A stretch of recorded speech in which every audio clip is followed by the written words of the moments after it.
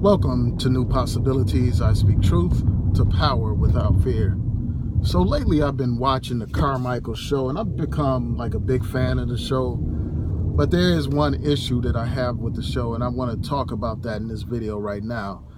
But before I do so, you know, I just want to highlight the positive aspects of the show you know, one thing that I like about it is that you have a black family, you have people that talk about important issues of the day, including like Islamophobia, racial profiling. They talk about gun control. They talk about a lot of different issues on that show. It's very entertaining. They even talk about like social media and its influence and its impact on people's lives and all that kind of stuff. So it's a great show. And it kind of reminds me of all in the family, you know, back in the day with Archie Bunker and his liberal son-in-law and all that kind of stuff and the various debates that they would have. That's what that show reminds me of. So it's a very good show. It creates a got a lot of great dialogue about a lot of important issues of the day and it's very entertaining. You know, the entire cast is hilarious. You know, you have um, you know, the guy from In Living Color, um, you have Jerrod Carmichael. And then you also have that guy from Get Out, the guy that played the security guard in Get Out. And forgive me, I'm forgetting people's names, but I don't want to mess up their names, so I'm not going to guess. But you get the point. So it has a great cast. It's a great show. The one problem that I do have with the program is this issue of colorism. It seems like this show, like so many other shows, promotes colorism because here you have a biracial woman, you know, a character by the name of Maxine, who is depicted as feminine, who is depicted as beautiful, who is, you know, characterized as intelligent. You know, she always has some intelligent stuff to say. She's always like courteous.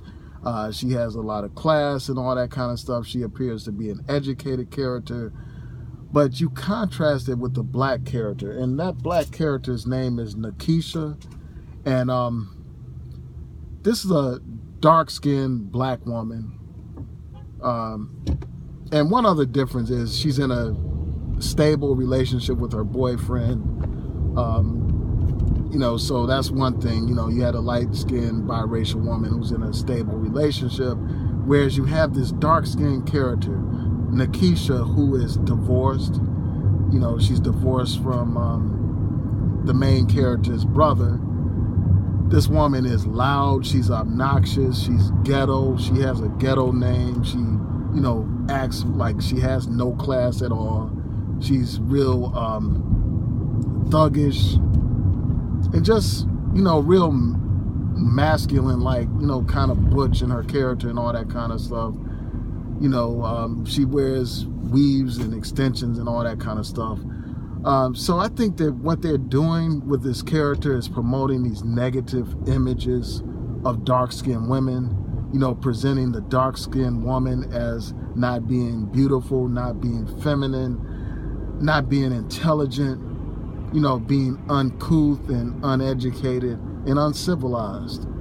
And I just think that that perpetuates negative stereotypes about dark-skinned women and black women in general because it's like too often what we have in the media is they promote the biracials over um, black women, you know, over women who are fully black. They promote lighter skinned women over darker skinned women. They portray the light skinned woman as like the standard of beauty when it comes to black beauty. And I just think that this perpetuates that. I mean, we see it in the music videos. We see it in a lot of um, different things like movies, television shows. And this is just yet another example of that. And it's deeply uh, disappointing. And I wonder if the Carmichael show will ever address the issue of colorism, if that will come up in their, their topics, because they address a lot of current day events. And I hope that they bring that issue to the forefront and address it on one of their programs. Um, you know, I think that they have the kind of courage to address that issue. But again, it just presents this negative image of dark skinned women. I mean, you could see it on like Martin back in the day. You know, you had Gina who was depicted in a better light than the other character, um, Pam, you know. So you know, we just see the problem repeating itself. And this is part of the reason why a lot of young black men have been programmed to view the lighter skinned black woman as a better option or the biracial woman as a better option because of these kinds of images.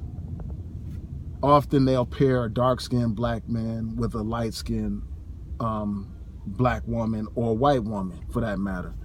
And I think that that creates this this situation where we have a warped definition of beauty.